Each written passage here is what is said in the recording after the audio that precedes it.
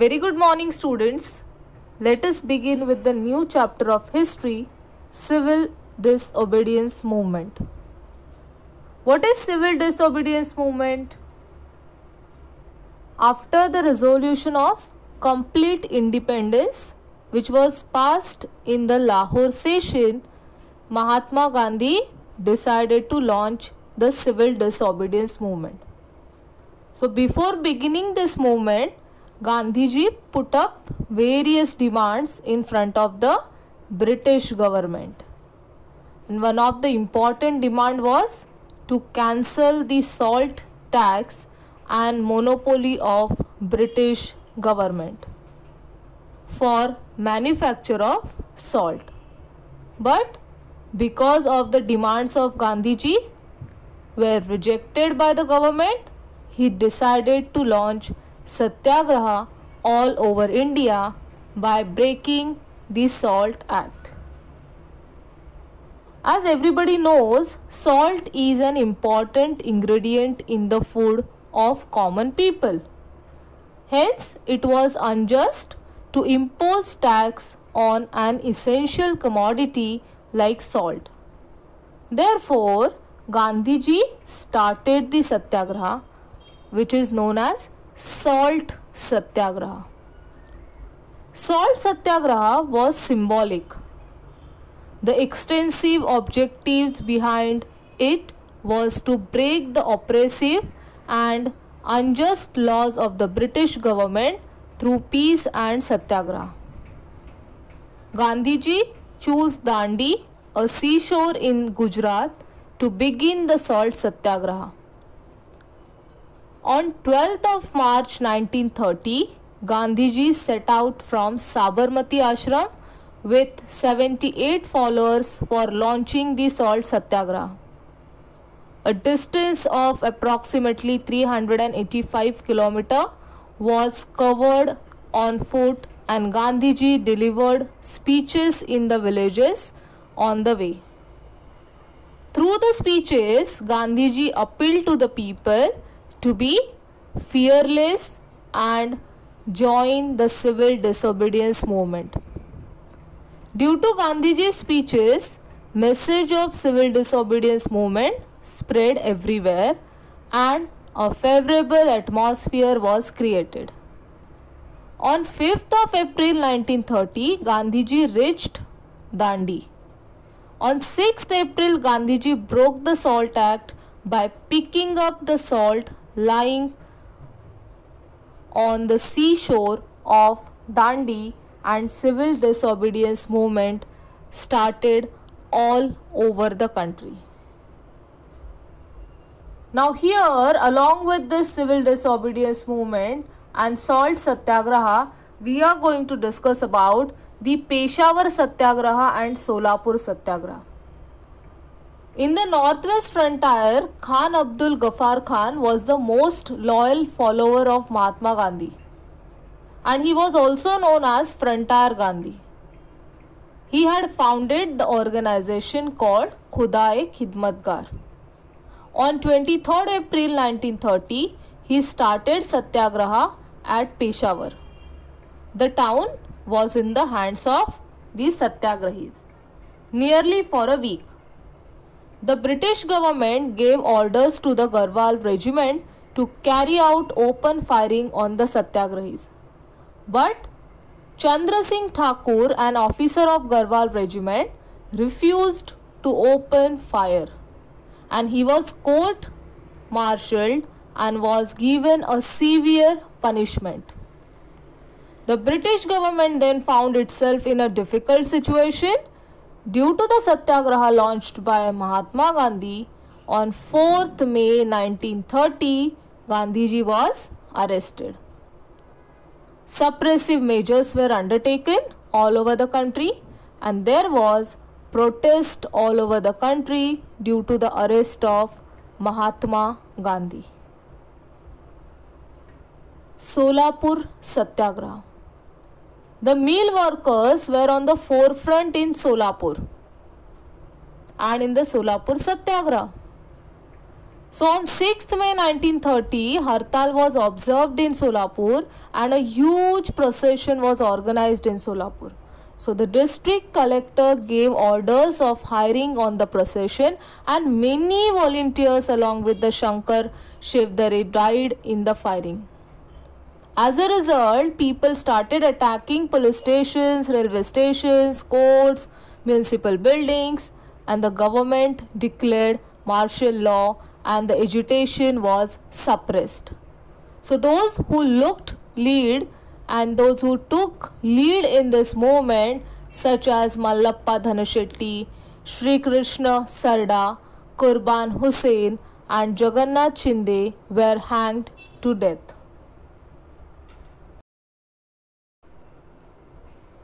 Very good morning students. In our previous video, we have discussed about what is civil disobedience movement, Dandi March or Salt Satyagraha, the Peshawar Satyagraha and Solapur Satyagraha. Today we are going to discuss about Dharasana Satyagraha and sacrifice of Babu Genu. Along with this, we are also going to discuss about the features of civil disobedience movement. Dharasana Satyagraha The Satyagraha at Dharasana in Gujarat was led by Sarojini Naidu. The police lathi charged on the Satyagrahis who came forward to break the Salt Act. The Satyagrahis silently tolerated the blows of the lathi. When they were taken away for medical aid, another batch of Satyagrahis came forward to replace them. This continued endlessly. In Maharashtra, salt satyagraha took place at Vadala, Malwan and Shiroda, where there were no salt pans. The forest laws were broken. There were jungles and satyagrahas at Bilashi, Sangamner, Kalwan, Chirner and Pusad in Maharashtra. The tribal people also took part in the satyagraha in large numbers. Sacrifice of Babu Genu. In Mumbai, there was agitation against foreign goods. The vehicles transporting foreign goods were obstructed. Babu Genu said a mill worker from Mumbai was in the forefront in this movement. A truck carrying foreign goods, safeguarded by the police, came in front of Babu Genu. To stop the truck, he lied down on the road. Police threatened him, but he did not move from his place. Finally, he was crushed under the truck. Babu Genu gained the martyrdom and this sacrifice of Babu Genu gave inspiration to the national movement. By having a discussion of all these satyagrahas, let us have a discussion of the features of the civil disobedience movement. All the movements till now were limited only to urban areas. But this movement became a nationwide movement where people from the rural areas registered their participation. Women also took part in large numbers like Kasturba Gandhi, Kamla Devi Chattopadhyay, Avantika Bai Gokhale, Lilavati Munshi, Hansaben Mehta led the Satyagraha. And this movement was based on complete non-violence. The British government was trying to greatly suppress the movement, but the people protested unarmed. Due to this, the Indian people became fearless.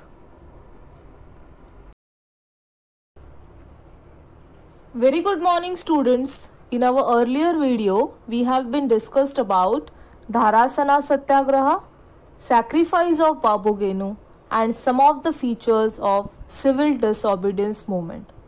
In this video, we are going to discuss about Roundtable Conference, Gandhi Irwin Pact, and Pune Pact. Round Table Conference. In the opinion of British Prime Minister Ramsay MacDonald, while the civil disobedience movement was going on, the constitutional issues regarding India should be thought over. For this purpose, he organized a conference at London. This conference is known as Round Table Conference. In the period between 1930 to 1932, three roundtable conferences were organized. First Roundtable Conference Ramsay MacDonald was the chairman of the Roundtable Conference. Representatives of England and India participated in the conference and these included Dr. Babasaheb Ambedkar, Sir Tej Bahadur Sapru, Barrister Jinnah, and in, the, in this conference there were discussions on various topics such as responsible government at central level, establishment of federal state in India, etc. So, representatives of different political parties in India and rulers of the princely states participated in the conference.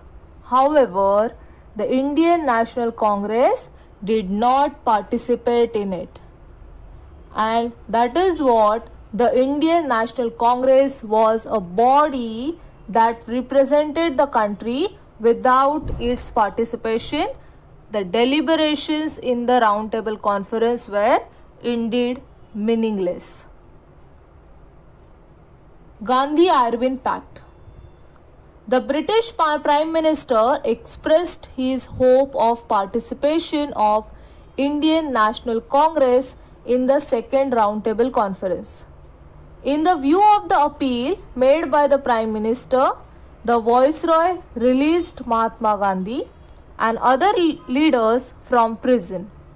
Thus, a conducive atmosphere was created for the Congress to discuss the issues freely a pact was signed between Mahatma Gandhi and Viceroy Irwin which is known as the Gandhi-Irwin Pact. According to this Gandhi-Irwin Pact, the British government assured that the system of responsible government would be added in the proposed constitution of India. Consequently, Indian National Congress withdrew the civil disobedience movement and agreed to attend the round table conference. Second round table conference. In 1931, the second roundtable conference was organized and Mahatma Gandhi attended this conference as a representatives of the Indian National Congress. Along with Indian National Congress, representatives of various castes and communities, political parties as well as princely states were invited. The government put forth the issues of minorities in the roundtable conference.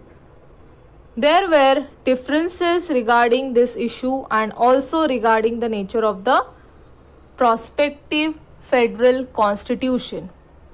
Gandhiji tried to bring unanimity in the opinion but was unsuccessful. Finally, Gandhiji became disappointed and returned back to India. Pune Pact Dr. Babasaheb Ambedkar represented the Dalits in the Roundtable Conference. He demanded to separate electorates for the Dalits. After the second roundtable conference, the British Prime Minister Ramsay MacDonald declared communal awards and according to this communal awards, Dalits were given separate electorates. Gandhiji went on fast unto death at Yerwada jail, protesting against the granting of separate electorate on the basis of caste. The leaders of National Congress requested Dr. Babasaheb Ambedkar to reconsider the demand for separate electorates. Keeping in mind the interest of the nation, Dr. Ambedkar was ready to accept this request and in the 1932 Mahatma Gandhi and Dr. Babasaheb Ambedkar signed the famous Pune Pact. And according to, to this Pune Pact, separate electorates for the Dalits was cancelled and a provision for reserve seats was made. After that, we had a third roundtable conference. In November 1932, the third roundtable conference was organized in England and then the Indian National Congress boycotted the conference. Thus, this conference proved to be futile. And second phase of this civil disobedience movement, if you see, Gandhiji returned to India from the second roundtable conference with a dejected mind and he has decided to restart the civil disobedience movement. Gandhiji was immediately arrested and hence there was discontent among the people. So government responded to this movement by using inhuman oppressive methods and there was strangling of civic rights everywhere. The Indian National Congress and its associated institutions were declared illegal and restrictions were levied on national newspaper and literature. Finally, in April 1934, Gandhiji withdrew the movement and the historic phase of civil disobedience movement came to an end. Thank you.